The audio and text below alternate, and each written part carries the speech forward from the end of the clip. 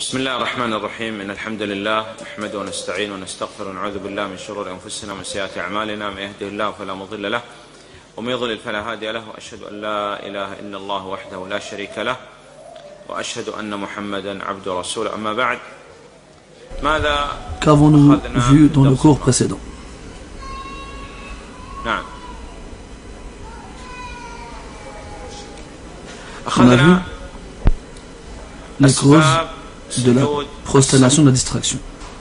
Et que la distraction a trois causes. Rajout, manque et doute. Le rajout par distraction n'annule pas la prière. Mais lorsqu'on est sûr qu'on s'est rendu compte qu'on a rajouté, on a l'obligation de d'interrompre ce rajout et de s'asseoir. Et la prière est valide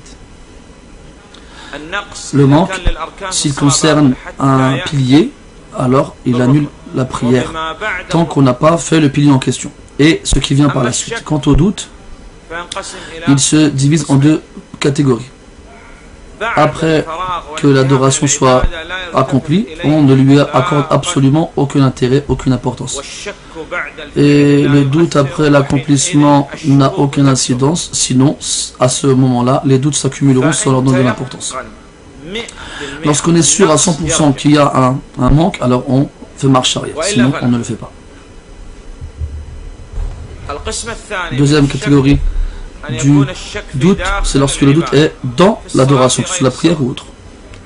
Lorsque la personne en question fait beaucoup, a beaucoup de, doutes doute tout le temps, on ne lui donne aucun intérêt et il fait sans prêter attention à cela. Si c'est quelqu'un qui n'a pas des doutes euh, fréquemment et souvent, alors il essaye de donner euh, prépondérance euh, à une des deux possibilités. Si c'est le cas, alors il la prend en compte et il se prosterne.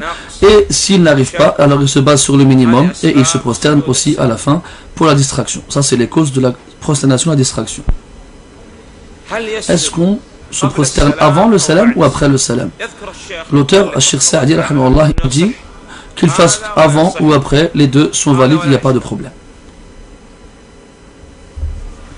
On a cité aussi que la prosternation, de la distraction, ainsi que la prosternation de la reconnaissance, c'est-à-dire du bienfait, c'est-à-dire le fait de remercier Allah pour cela, ainsi que la prosternation de la récitation, due à la récitation du Coran ces types de prosternation-là, on avait vu que précédemment,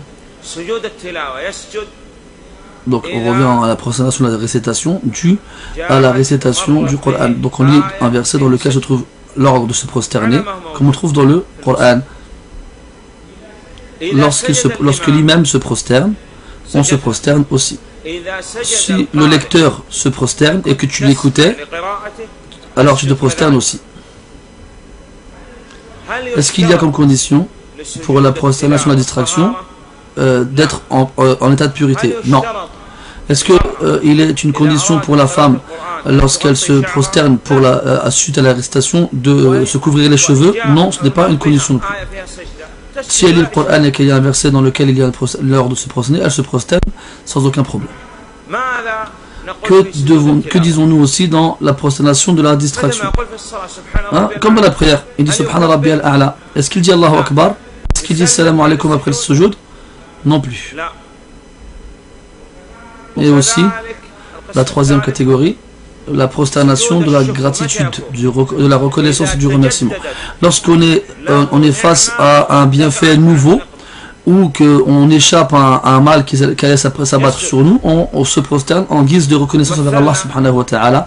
Et on avait donné un exemple avec euh, ce qui a été rapporté concernant Abu Bakr radiallahu anhu lorsqu'il s'est prosterné après avoir été informé de la mort de Moussaïlam al-Kadhab, le faux prophète.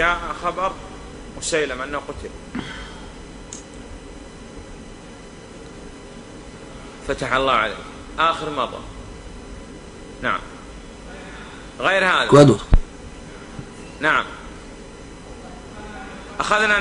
On a vu que les moments dans lesquels la prière est interdite sont au nombre, est au nombre de, c'est au nombre de cinq. Et on a vu les sagesses qui justifient cette interdiction. Du moins quelques-unes.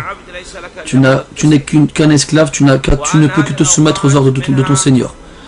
Et il y a parmi ces horaires-là certaines qui sont en conformité avec les horaires dans lesquels les mécréants adorent leurs idoles.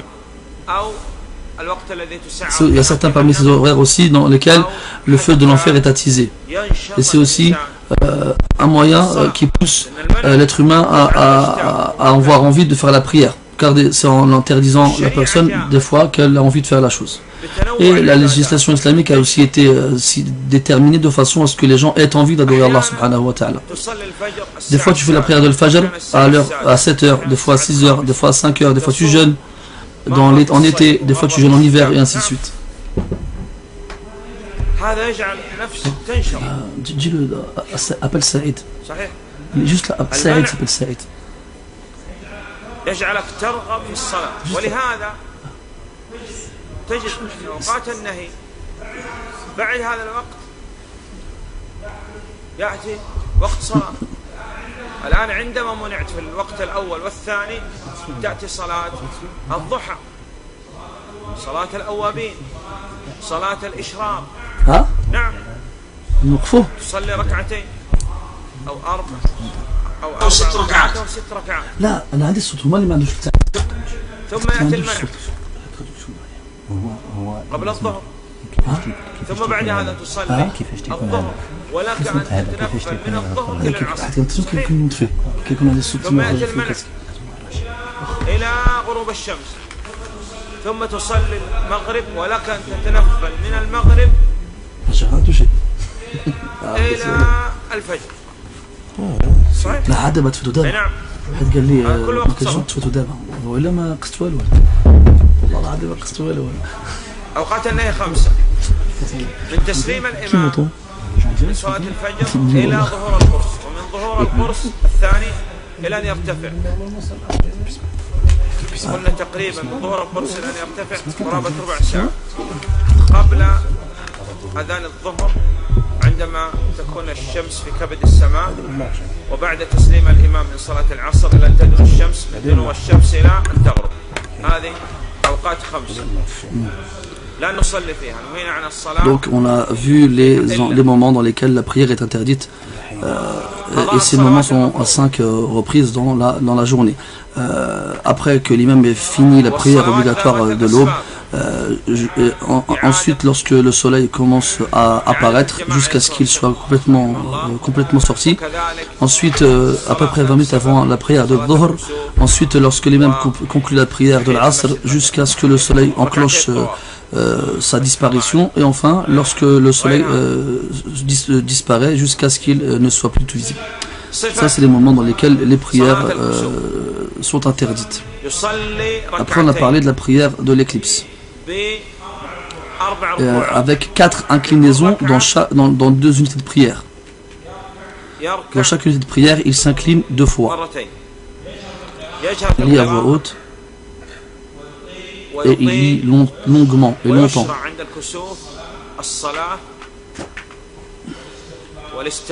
Et durant l'éclipse, il est légiféré de prier, de demander le pardon d'Allah Ta'ala et de faire l'aumône. On a vu que certains savants voyaient que cette prière-là était obligatoire. Et on appelle euh, afin de faire cette prière-là, et le prophète sallallahu alayhi wa sallam est sorti accompagné cette prière-là, et il a ordonné à ce qu'on le fasse. Et après la prière, on fait un sermon. Le prophète faisait un sermon à sallam.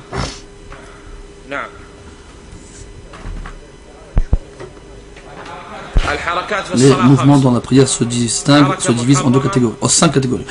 Euh, des mouvements interdits comme le fait de manger et de boire, ou de rire, de se tourner vers la droite, vers la gauche, euh, euh, beaucoup de fois jusqu'à ce qu'on sorte de la direction de la Qibla. Le fait de parler volontairement en sachant, en connaissant le jugement et sans que ce ne soit le fruit d'un oubli.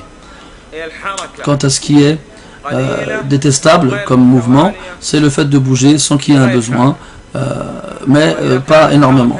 Et s'il y a un besoin, alors cela est, toléré. Tout, mouvement sur, lequel repose la perfection de la prière est, un mouvement recommandé.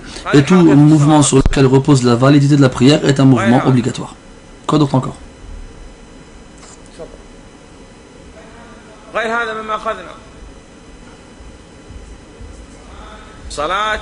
On a vu aussi la prière de la demande de la pluie.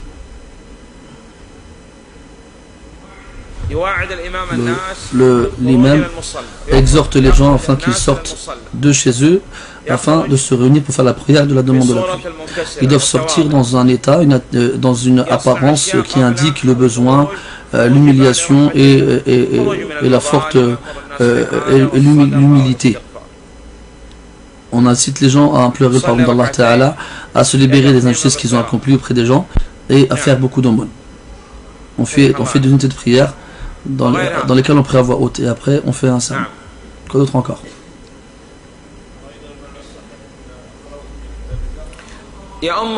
On a vu les conditions qui donnent la priorité à la personne afin qu'elle préside la prière. En premier, la lecture, dire la bonne prononciation des lettres, une bonne lecture avec une méditation sur les versets et une, une mise en pratique de celle-ci, c'est l'une prioritaire.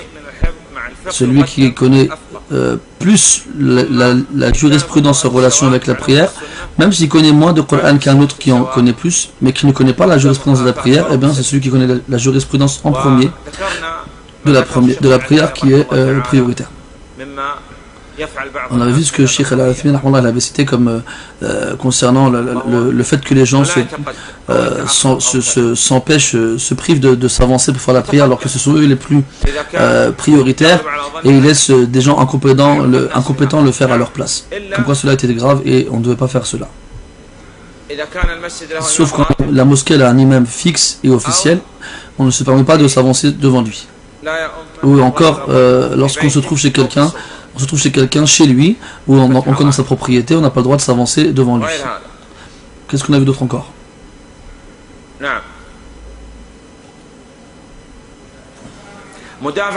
Euh, le, le, cas où on fait la prière et qu'on a envie de faire ses besoins et qu'on se retient.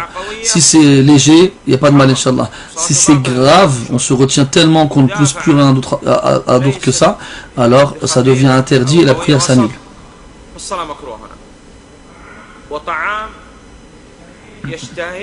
Aussi le cas où la nourriture est posée et que celui qui prie en a envie et qu'il a le droit d'en manger, alors il, doit, il, ne prie pas, il doit manger d'abord. On va voir maintenant les personnes euh, qui sont excusées euh, dans la prière, c'est-à-dire comment ils vont prier suite à des causes particulières, euh, comme le malade par exemple. Est-ce que la maladie empêche la présence à la prière en groupe? On regarde la maladie en question. Euh, comme on l'a vu dans le jeûne par exemple. Quelqu'un il est, il est euh, blessé au doigt. Est-ce qu'on nous dit qu'il est excusé et qu'il n'a pas, qu'il ne peut pas jeûner ni prier en groupe Non, ça n'a rien à voir. Là, ce n'est pas une blessure au doigt qui va l'empêcher de faire le jeûne, ni d'être présent à la mosquée en groupe. Il faut que cette maladie euh, l'empêche euh, de se déplacer, lui, lui accorde une difficulté supplémentaire et, l'empêche de se déplacer ou de jeûner. Là, à ce moment-là, il sera excusé.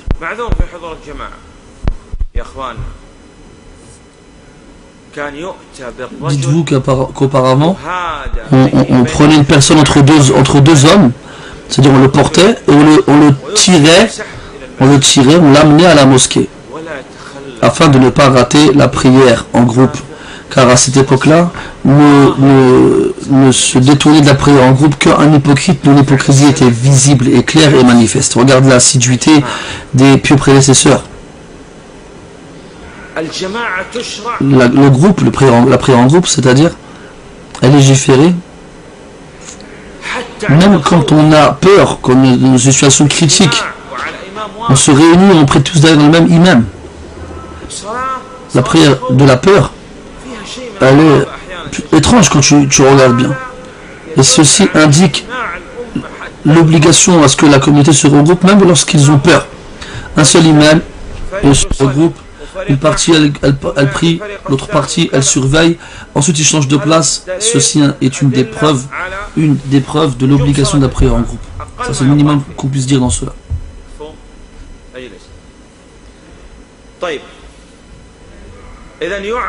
Donc on excuse le malade dont la maladie lui apporte une difficulté à, être présent durant la prière en groupe. S'il peut prier debout, la prière euh, en, état, en état de en étant debout est un des piliers de la prière obligatoire. Comme dans la prière, dans la prière surérogatoire, il n'a pas l'obligation d'être debout, tout en sachant que la récompense qui lui est accordée sera diminuée de moitié. Pour celui qui ne peut pas prier debout, il a le droit de prier euh, assis et il aura la prière euh, complète parce que la récompense complète parce qu'il ne peut pas faire autrement. Celui qui ne peut pas faire la prière assis, il se met sur son côté. C'est-à-dire il se met sur son côté droit et il se met dans la que sa, sa face et, son, son corps, lorsqu'il est allongé, soit en direction de la Qibla. Comment il fait pour prier quand il est sur, allongé sur le côté? Il imagine, qu'il est en prosternation et en, inclinaison. Et si jamais il est assis, eh bien il mime les mouvements. Mais il fait en sorte que lorsqu'il mime la prosternation, il la fasse plus bas que lorsqu'il mime l'inclinaison. S'il est difficile pour le malade d'accomplir toutes les prières à leur heure respective, qu'est-ce qu'il fait? Il a le droit de faire le regroupement entre Al-Dhuhr et Al-Asr. Soit il avance Al-Asr à l'heure de Dhuhr, soit il retarde Al-Dhuhr à l'heure de l'Asr. Il peut aussi regrouper entre le Maghreb et l'Isha de la même façon, c'est-à-dire il avance l'Isha à l'heure de le Maghreb ou bien il retarde Al-Maghreb à l'heure de l'Isha.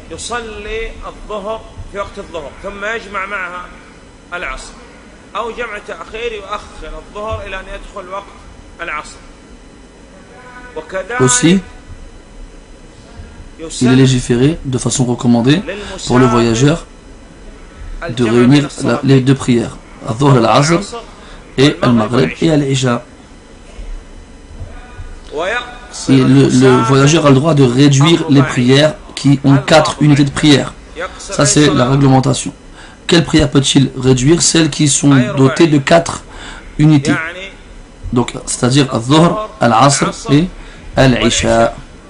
Est-ce qu'il peut faire cela avec le Maghreb Non, il ne peut pas parce qu'elle n'a pas unités. Al-Fajr non plus. Donc il est légiféré pour le voyageur de faire la prière de Dhuhr comme, il l'a fait en temps normal. Et, le Maghreb aussi. Quant à Dhuhr et à l'Asr et à l'Isha, il fait deux unités de prière. Ça c'est dans le cas où il prie derrière un imam moussafir comme lui, c'est-à-dire voyageur comme lui. Ou bien il prie tout seul. Mais dans le cas où il prie derrière un imam qui est résident, alors s'il suit l'imam en question, il doit faire la prière complètement. Même s'il n'a pu faire qu'une seule unité de prière avec lui.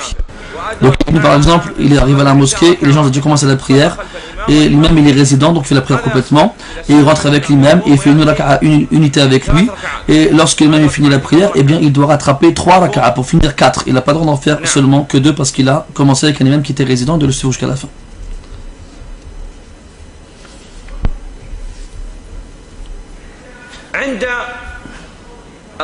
On a dit que lorsqu'on est confronté à une peur, il existe une prière, notamment pendant la guerre. On fait la prière, les prières en groupe, avec un seul imam. Cependant, si la guerre elle est intense et que l'heure de la prière rentre, et qu'il ne peut pas prier en groupe, alors ils prieront tous, chacun tout seul. Donc il y a un combattant qui a peur que l'heure de la prière ne sorte. Alors il prie comme il le peut. Même si il est en train de courir ou bien il n'est pas dans la direction complètement de la Qibla euh, et qu'il il, prie.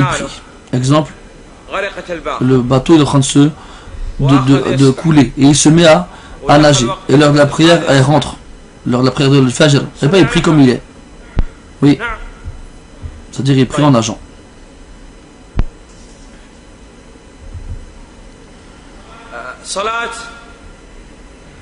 La prière du vendredi. La prière du vendredi. Premièrement, il y a des choses qui ont lieu durant le jour du vendredi. Qu'est-ce qui se passe durant le jour du vendredi? Qu'est-ce qu'on doit faire durant ce jour-ci?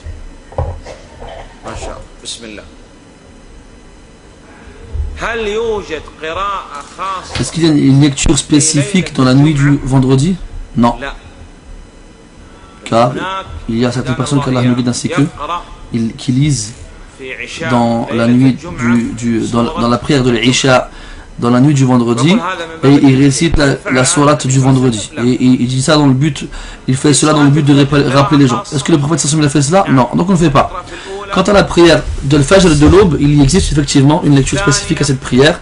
Euh, c'est de lire durant cette prière-là la prière, la, sourate de de la prosternation et dans la seconde unité la sourate de l'être humain. Et si jamais il ne prie pas avec ces sourates-là, il n'y a pas de problème. Il y a souvent considéré que la prière est trop longue dans ce cas-là, non plus. Donc il y a une lecture spécifique dans la prière du matin du jour du vendredi ainsi que dans la prière du vendredi elle-même. Euh, on prie la, la surah de l'A'la, du, du Très-Haut, et de Al-Rashiyah, de l'enveloppé, euh, dans la seconde unité. Ou encore la prière du vendredi, euh, la sourate du vendredi, pardon, dans la première unité, et dans la seconde, la prière des, la sourate des hypocrites des monafiques. Il est aussi euh, légiféré de lire la sourate de la graverne le jour du vendredi, tout comme il est légiféré de multiplier la prière sur le prophète sallallahu alayhi wa sallam durant le jour du vendredi. Aussi, il est légiféré de venir le plus tôt possible euh, avant la prière du vendredi à la mosquée. S'il peut venir juste après le lever du soleil, à la première heure, alors il le fait.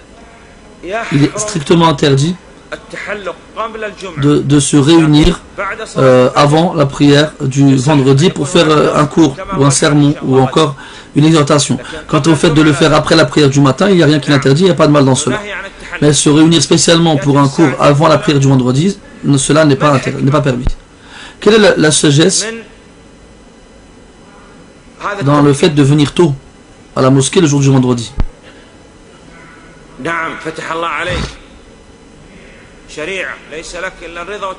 C'est la loi d'Allah, tu n'as qu'à, tu ne dois, tu ne peux que te soumettre et être satisfait de cela.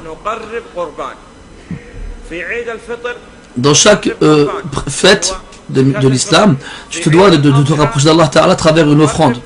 Euh, dans la prière, dans, dans, le jour de la fête de la rupture du jeûne, tu fais une offrande. Allah il t'a facilité, il t'a allégé. Et ça, ça fait partie des bienfaits d'Allah sur toi. Allah, il a fait euh,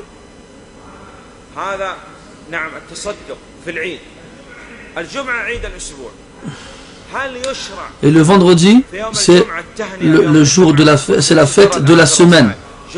C'est un jour béni. Et c'est un bienfait d'Allah sur toi qu'il t'a permis, permis de, de, le vivre.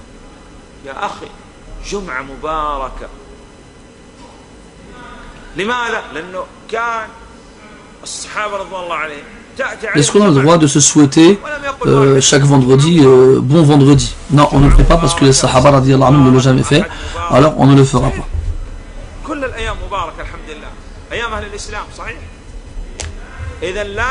Donc il n'y a pas de, de, de, célébration ou bien on ne se souhaite pas mutuellement euh, un bon vendredi ce jour-là. Donc on vient tôt le vendredi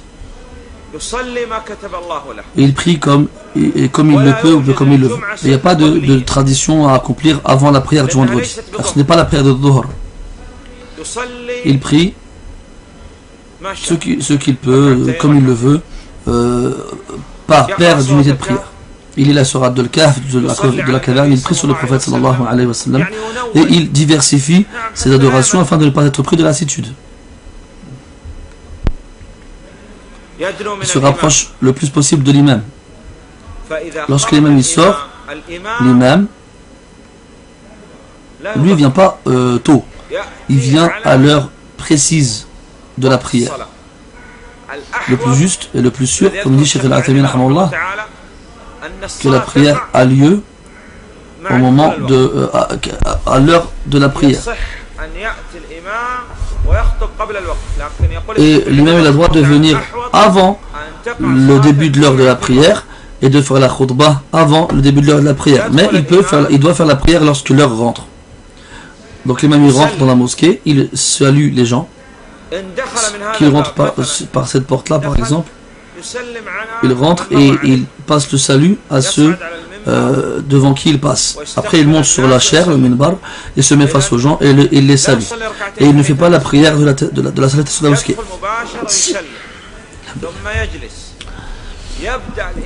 Donc, après il le, le il fait l'appel à la prière. Il n'en fait qu'un seul. Et après cela, l'imam se lève et fait le premier sermon. Ensuite, il s'assoit. Ensuite, la seconde, le second sermon. Après cela, on appelle à la confession de la prière et on la fait en deux unités de prière à voix haute. Et ce n'est pas la prière de Dhuhr. Donc il lit à voix haute. Il lit ce qui est recommandé de lire. Et il n'est pas euh, euh, valide de faire la prière du vendredi sans que tu t'avances, sans qu'elle ne soit précédée de deux sermons. Le minimum de personnes avec, le, avec lequel euh, la prière de, du vendredi est valide, c'est trois personnes. Un imam, et avec lui, avec lui, deux personnes. Et ainsi, la prière du vendredi sera valide. Comme il dit Sheikh al-Athami,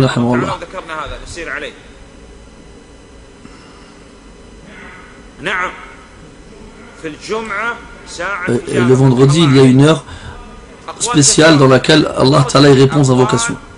Et les savants ont beaucoup parlé à ce, niveau-là. Il y a une parole qui dit que c'est à partir du moment où l'imam il sort pour faire la, prière, le sermon du vendredi, il y en a qui disent que c'est juste avant le, coucher du soleil. Quoi d'autre qu'il y a le jour du vendredi? Le fait de se laver. Le lavage du vendredi est obligatoire.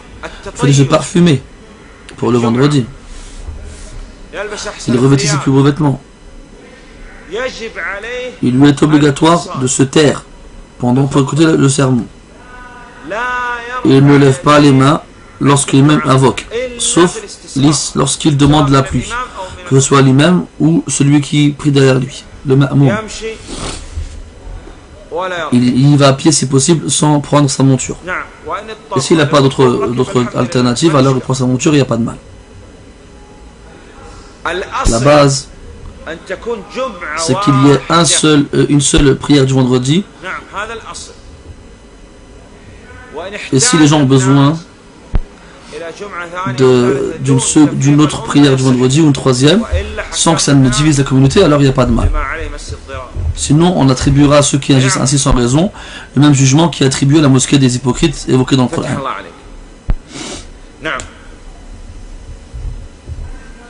Est-ce qu'il a été prouvé, d'après le prophète sallallahu alayhi wa sallam, qu'il a prié la prière du vendredi en voyage? Non. Cependant, si la prière du vendredi, le voyageur se trouve dans un endroit où la prière du vendredi a lieu, alors il n'y a pas de mal. Et même si c'est lui lui-même, même si c'est lui qui fait le sermon, cela sera bon et valide.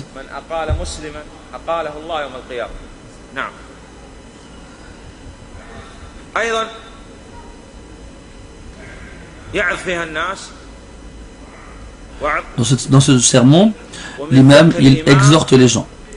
Il fait partie de la, jurisprudence de l'imam, le fait de faire une courte, un court sermon et d'allonger la, prière, comme on l'a cité avec les, les sourates euh, citées dans la, sunna du prophète sallallahu alayhi wa La prière des deux fêtes. La fête chez les gens de l'islam, Al-Eid. Regarde comment chez les gens de l'islam se fait la fête? On la fait avec l'obéissance et non avec les obéissances. On l'accueille au début de la journée et ni en, en, veillant la nuit et en perdant son temps. On accueille la fête avec la, réussite et la victoire et, l'enchaînement des actions, des actions vertueuses, contrairement à ceux qui font tout leur possible pour faire le mal. Et ces gens-là sont des gens qui ont échoué sans, aucun, euh, sans aucun doute. Celui qui accueille le jour de la fête avec, euh, en gâchant son temps et en faisant des, des bêtises, des choses mauvaises, c'est quelqu'un qui a échoué.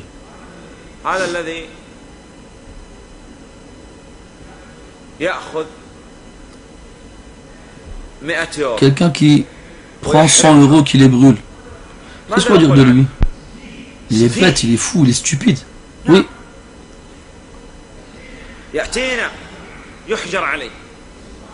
Quelqu'un L'autorité, qu'est-ce qu'ils vont faire? Ils vont le bloquer, ils vont l'interdire de faire quoi que ce soit parce que c'est quelqu'un qui fait n'importe quoi.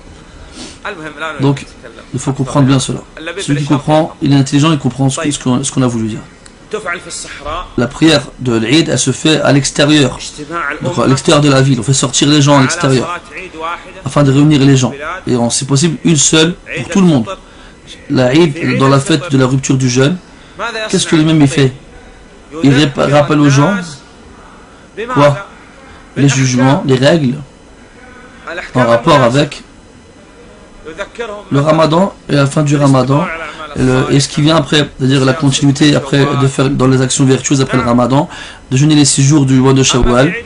Et quant à la fête du sacrifice, il leur explique les règles en rapport avec le sacrifice et, les conditions et ainsi de suite, tout ce qui concerne cela. Après, il préside, il préside une prière dans laquelle il y a deux unités, sans faire l'appel à la prière. Euh, ni appeler les gens à, venir se, réunir. L'appel à la prière, c'est pour les cinq prières obligatoires quotidiennes, pour le vendredi et pour la prière de l'éclipse. Quant aux prières de la fête et les prières, la prière de la demande de la pluie, il n'y a pas d'appel qui les précède, le. Ensuite, donc, il, fait le sermon et il cite les règles en rapport avec l'événement.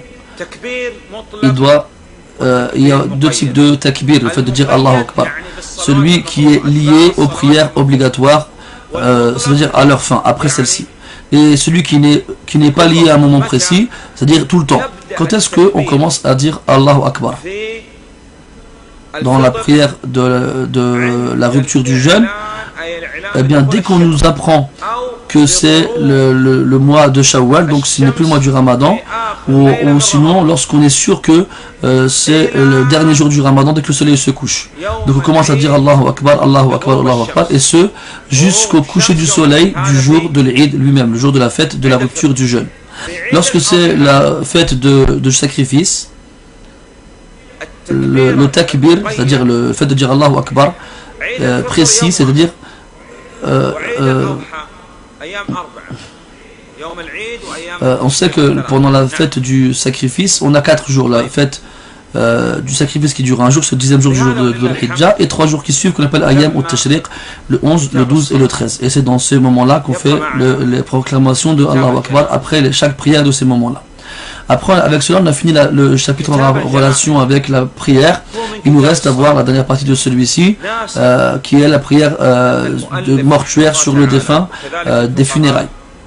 Et les savants ont, consacré un chapitre indépendant, indépendant euh, pour ce domaine-là, malgré le fait qu'il fasse partie de, de la prière.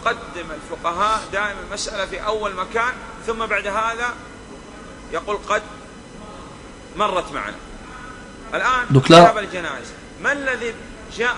qu'est-ce qui a amené la, prière de la, sur le défunt ici? Bah, C'est parce que euh, c'est la prière et c'est la première chose qu'on évoque dans ce chapitre-là.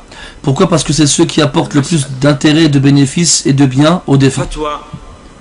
Il y a une fatwa, juridique euh, émis par le grand euh, comité des savants, dans lequel se trouvait Sheikh Ibn Baz, Sheikh Al-Fawzan, euh, Sheikh Al-Athaymin, comme quoi celui qui délaisse la prière complètement, c'est-à-dire il la fait pas du tout, il la fait jamais, c'est un mécréant. Il a fait preuve de mécréance majeure si jamais il meurt, plutôt quand il meurt, dans cet état-là, qu'Allah nous en préserve et nous en épargne, on ne prie pas sur lui. Et on n'enterre pas avec les musulmans. Et on n'hérite pas de lui.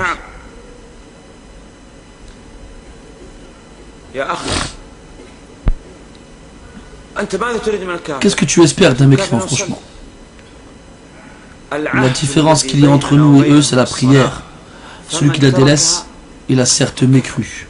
Parole du prophète sallallahu alayhi wa sallam. Et ce qui est étonnant, c'est que certaines personnes d'aujourd'hui, ils disent quelqu'un est venu me voir. Et il a voulu se marier. On lui demande est-ce qu'il pris Il dit non, il ne prie pas. Comment cela Comment est-ce qu'on peut marier celui-là? Il ne fait pas la prière. Même dans certains cas, quand certaines personnes, certaines personnes qui disent un tel, il insulte Allah. Il insulte l'islam. Il pas la prière. Subhanallah. Qu'est-ce qui lui reste en islam à celui-là? S'il ne connaît pas ces choses-là. Aujourd'hui, il y a certaines choses avant la mort. et des choses pendant la mort et des choses après la mort. C'est ça le contenu du chapitre lié à la prière euh, sur le défunt. Avant, pendant et après. Avant la mort. Avant la mort, on doit se préparer au jour du départ. Visitez les cimetières car ils vous rappelleront, car ils vous rappelleront l'au-delà. Qu'est-ce que, tu dois faire? Tu dois te préparer. Ça c'est avant la mort. Comment? avec des actions vertueuses, se précipiter euh, à se libérer des injustices qu'on a commises, et ainsi de suite. Cela est connu. Pendant qu'on meurt, pendant la mort, pendant la mort, tu dois faire répéter aux morts, pendant qu'il a au défunt pardon, au mourant, euh, pardon, euh, tu lui fais répéter pendant qu'il agonise, la ilaha illallah avec douceur. Et tu te rappelles la parole du prophète sallallahu alayhi wa sallam euh, afin qu'il afin le, fasse. S'il le répète, c'est bien. S'il ne le répète pas, laisse-le Une fois, deux fois, trois fois. قبل هذا يأتينا المرض والوصية وكذا تأتي بإذن الله تعالى وقد مرت معنا في كتاب التوحيد أن يأتي بعض الناس إلى المريض وقال مسكين وما تستاهل وكذا لا Donc quand on est présent près du mourant, on doit lui rappeler Allah Ta'ala, on doit lui rappeler la satisfaction du croyant vis-à-vis du décret d'Allah et sa, sa prédestinée, ainsi de suite.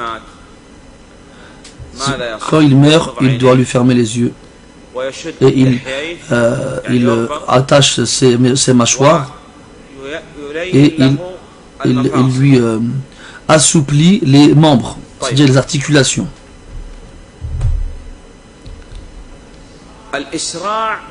Et on doit se précipiter à préparer le défunt. Cela est lorsque on est sûr à 100% qu'il est bien mort. Les gens qui ont l'expérience, ils savent bien si quelqu'un est mort ou non. Comment Lorsque le nez dévide sa trajectoire classique, ainsi que les, pieds. Lorsqu'on est sûr et qu'on a bien confirmé qu'il est mort, alors on doit se précipiter à le préparer et à le mettre dans son linceul. Si c'est une mort soudaine, alors obligatoirement, les gens expérimentés doivent venir confirmer qu'il est bien mort. Qu'est-ce qu'on fait avec l'argent de celui-ci. Qu'est-ce cet homme-là qui est mort et qui a laissé cet argent-là, qu'est-ce qu'on fait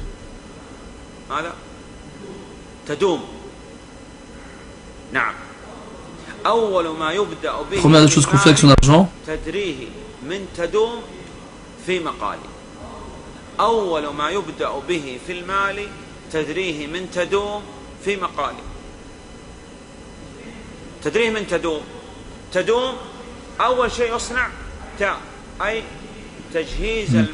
La première chose qu'on fait lorsqu'on lorsque quelqu'un meurt, on doit le préparer euh, de la meilleure façon, sans exagération ni laxisme. Après une longue vie dans, dans l'obéissance d'Allah subhanahu wa ta'ala, quelqu'un meurt. Il a laissé après sa mort 100 millions d'euros. Alors, on a dit, obligatoirement, on doit prendre de son argent qu'il a laissé après sa mort, de quoi pouvoir le préparer pour l'enterrer, sans exagération ni laxisme.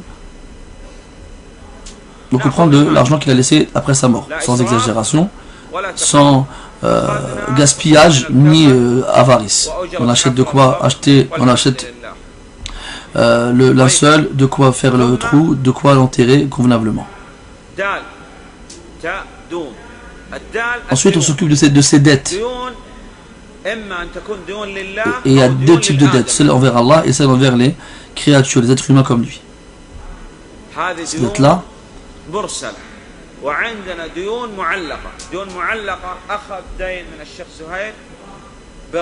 Il y a des dettes qui sont euh, accrochées à, des, à, des, choses comme euh, par exemple un, gage. Hein, J'ai laissé quelque chose que je possède à quelqu'un en échange d'une somme qu'il va me prêter.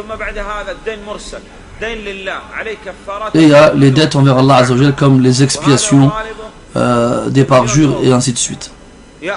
Donc s'il a assez de l'argent après lui, on prend son argent et on rembourse les dettes qu'il a envers les autres. On regarde aussi le, euh, s'il a fait un testament. Si avant de mourir il a écrit que un tel devrait prendre 5 millions d'euros, on regarde, euh, on regarde la, combien il a laissé entier, en, tout. Si jamais il a, ce qu'il a légué à une personne en particulier est inférieur au tiers du total, alors on lui donne. Si c'est supérieur, on ne lui donne pas. Donc il faut faire attention à ce qu'il a fait un testament avant de mourir. Et il faut que ce, testament-là, ce qui va léguer dans ce testament-là, soit inférieur au tiers du, total qu'il a laissé.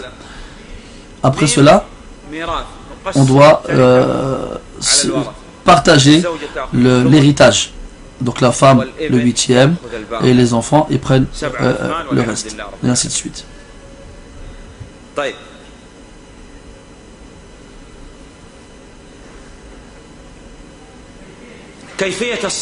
Comment prie-t-on sur le mort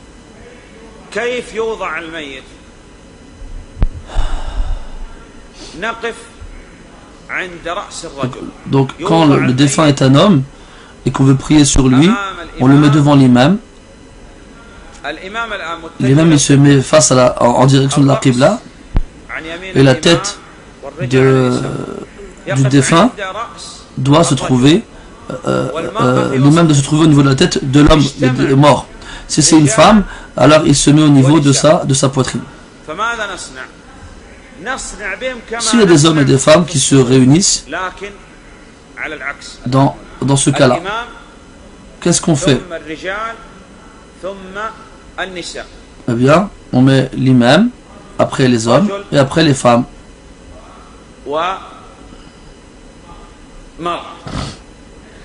نجعل الإمام يقف عند رأس Donc si, وفي وسط المرأة وهكذا مفهوم si on a un mort يقف هؤلاء بعد الموت Non. Si on, a, on nous présente un homme et une femme morts, alors on met d'abord l'homme, après on met la femme.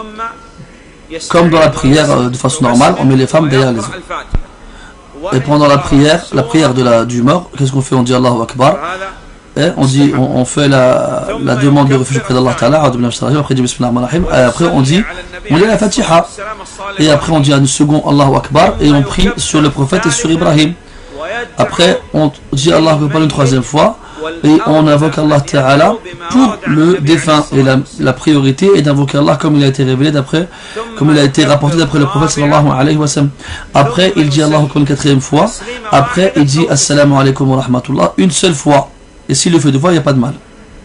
Combien de fois il a dit Allah Akbar ici? Quatre fois. Ces quatre euh, takbirat, les quatre fois où tu dis Allah Akbar, eh bien, prend la place d'une unité de prière. Si l'imam délaisse une de ces quatre-là, eh bien la prière elle est, elle est nulle. Donc si un il fait le salam, un imam il oublie euh, un takbir, le fait de dire Allah Akbar, et il sort de la prière avec le salam, tu lui dis Subhanallah.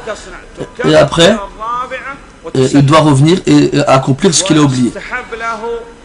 Et après cela, il, il fait le salam.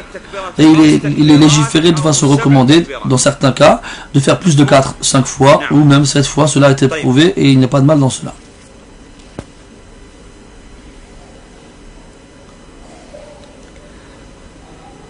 Les tombes. Donc là, on a vu euh, la préparation du, mort, euh, le mettre dans un linceul, le ramener à la mosquée pour compter sur lui. Ensuite, on le ramène au cimetière. Qu'est-ce qu'on fait dans la tombe? Où est-ce qu'on l'enterre? On l'enterre chez lui? Si jamais il demande à ce qu'on l'enterre chez lui, on l'enterre. On n'exécute pas le testament. Et si jamais il maudit celui qui n'exécute pas son testament, on ne l'écoute pas non plus parce qu'on n'obéit pas à la créature dans la désobéissance du, du Créateur. Donc on le ramène jusqu'au cimetière et on l'enterre et on fait un trou profond. Et au fond de ce trou là on fait un autre trou sur le côté. et on le met de la même façon que le malade prie lorsqu'il ne peut pas prier debout ou assis, c'est-à-dire sur le côté droit. Et ensuite on le recouvre du sable.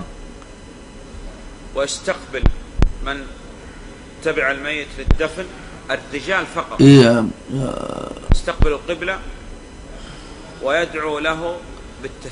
et, les hommes qui accompagnent le, corps au cimetière, après l'avoir enterré, se mettent face à la, Qibla et invoquent Allah Ta'ala afin qu'il raffermisse ce défunt dans sa tombe. On peut, on peut surélever euh, la tombe euh, d'une mesure euh, qui est vraiment à un empan. On peut poser une pierre ou deux afin de la distinguer des autres, des autres tombes et on ne fait rien d'autre que cela. Et après cela, on, on, on, on s'en va. L'auteur, il a dit après cela, et il est légiféré de faire les condoléances à la personne touchée par la mort du défunt. Celui qui est touché par la mort du défunt, c'est-à-dire celui qui a été attristé et influencé par cette mort-là. Il y a certaines personnes il a un, fils mauvais. Et des fois, toujours, il espère que son, fils il meurt. Et le jour où il meurt, il n'est pas triste d'avoir perdu son fils. Est-ce qu'on va dire que lui, il est touché par la mort de, son fils? Non. Donc on n'a pas à lui présenter les condoléances. On fait les condoléances à celui qui est touché par la mort. Dans la limite de combien de jours? Trois jours seulement. Ou ça Dans n'importe quel endroit. Le fait de se réunir afin de, de, faire de présenter les condoléances chez la personne, euh, chez la famille du, défunt, fait partie de la lamentation qui est euh, interdite dans l'islam.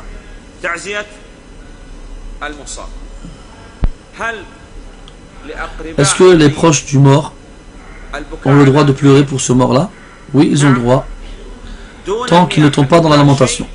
Pleurer, c'est une chose, et le lamenter, c'est le fait d'évoquer les, biens, les, qualités du, mort dans le, but de manifester un, mécontentement. Ça vient de la lamentation, ou plutôt du recoulement des, euh, hirondelles et des pigeons, parce que ces lamentations ressemblent à ces, à ces bruits-là. Le prophète il a prié quand son fils il est mort, et il a dit c'était une miséricorde. Donc il n'y a pas de mal dans le fait de pleurer seulement. Quant au fait de, de, de, et de, de déchirer ses vêtements, de tirer ses cheveux, et de se frapper, tout cela est interdit.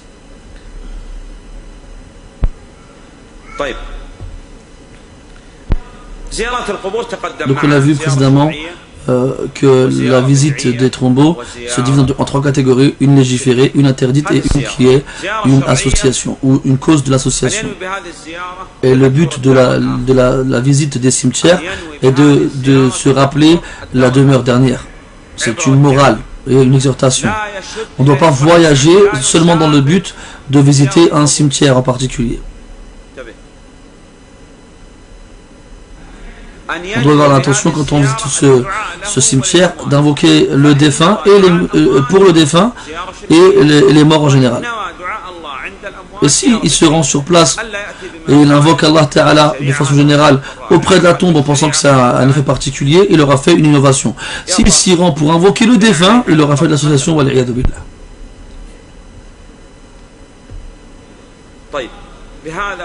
Et ainsi, grâce à Allah, on a fini le chapitre de la purification et le chapitre de la prière et celui de la prière mortuaire.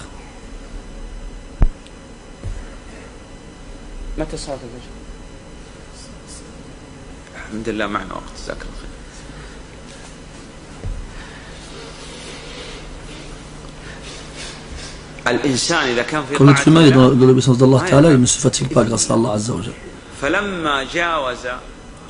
Hein, dans Surat al-Kahf, la caverne, la caverne quand Allah il raconte l'histoire de Moussa, lorsqu'il se rend à la rencontre de Al-Khadir, et lorsqu'il a dépassé l'endroit dans lequel il devait rencontrer Al-Khadir, et il a dit à son, à son jeune compagnon, donne notre repas car nous sommes certes fatigués. Donc quand il se rend vers son créateur, il est fatigué. Mais quand il se rend vers, euh, vers, une créature comme lui, excusez-moi, il s'est fatigué. Mais quand il s'est rendu vers son, son créateur, il n'a pas ressenti de fatigue. C'est pareil quand on fait le pèlerinage ou le jeûne, qu'on adore Allah, euh, on ne ressent pas de fatigue. On va voir ensuite le chapitre relatif à l'aumône, à, il y a dans cette, obligation, cette adoration une obligation et une, et une qui ne l'est pas. Donc celle qui est obligatoire est de, deux types. C'est l'aumône donc de nos biens, le fait de purifier nos biens, hein, tout ce qui sort de la terre, euh, tout ce qui est gagné suite à un commerce, euh, toutes les bêtes qu'on possède et bien sûr euh, tout ce qu'on possède comme argent. Et la purification de l'âme, cela on le voit, on le voit dans l'étude du tawhid et de la aqidah. Donc, la zakat, ça veut dire purification, soit des biens, soit de la de l'âme. Et on va voir aussi euh, l'aumône de la rupture du jeûne. Ça, c'est dans l'obligation. Et on verra après cela aussi l'aumône surérogatoire. Il y a huit catégories de personnes qui ont le droit à, l'aumône. Et on verra aussi, Inch'Allah ta'ala, l'explication de chacune de ces catégories. Il nous reste à voir aussi comment calculer euh, l'aumône? C'est qu'est-ce qu'on sort de, des choses qu'il est obligatoire de sortir? Il un shir qui est sorti euh, voir ses élèves et leur a ordonné à chacun d'entre eux après avoir étudié ce chapitre-là de, l'aumône, de retourner chez, son père et de, compter dans ses comptes et de voir combien il doit sortir la zakat et de me ramener le, résultat. Il y en a, il était pauvre et son père, il n'avait rien, ni compte, ni euh, argent, ni rien du tout. Qu'est-ce qu'il a fait? Il est rentré chez ses voisins, il s'est caché à la fin de la nuit, il a allumé la lumière il a sorti les cahiers où il y avait les comptes, il s'est mis à calculer. Il calcule, calcule, calcule.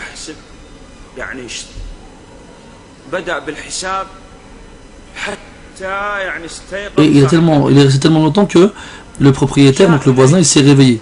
Et il est venu, il a vu, il s'est mis à crier au voleur, au voleur. Alors le jeune, il dit Moi, je suis pas un voleur. Moi, je suis un voleur. C'est toi le voleur tous ces, livres-là sont des erreurs. Tu fais que tu passes ton temps à manger le, droit des pauvres. Je vais prendre ce livre-là, je vais les ramener en tu vas voir. Donc, après cela, comment est-ce qu'on calcule le, la zakat à sortir Donc, il faut déjà que le montant atteigne le seuil imposable. Selon le hadith, dans les bêtes qu'on possède, et ça on le verra demain, Inch'Allah Ta'ala. Mais je veux que, vous, aujourd'hui, vous regardez 20 hein, chameaux. Combien de zakat il y a dans cela 5, 3.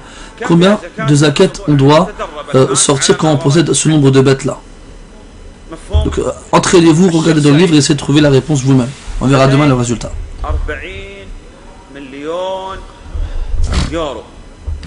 Si moi j'ai 40 millions d'euros, qu'est-ce que, comment je dois sortir de zakat sur cela? C'est simple, divise par 40. Ça fait 1 million, tout simplement. C'est très facile à comprendre. L'argent, c'est tu, divises par 40 et c'est tout, c'est fini.